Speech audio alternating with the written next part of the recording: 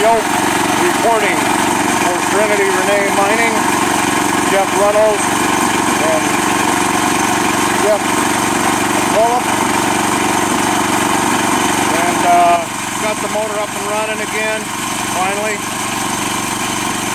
Just uh, update. Just got to put the new filter system on it. I've almost got that ready. And we're ready to go, dude. A little bit more work on the switch. Sounds good.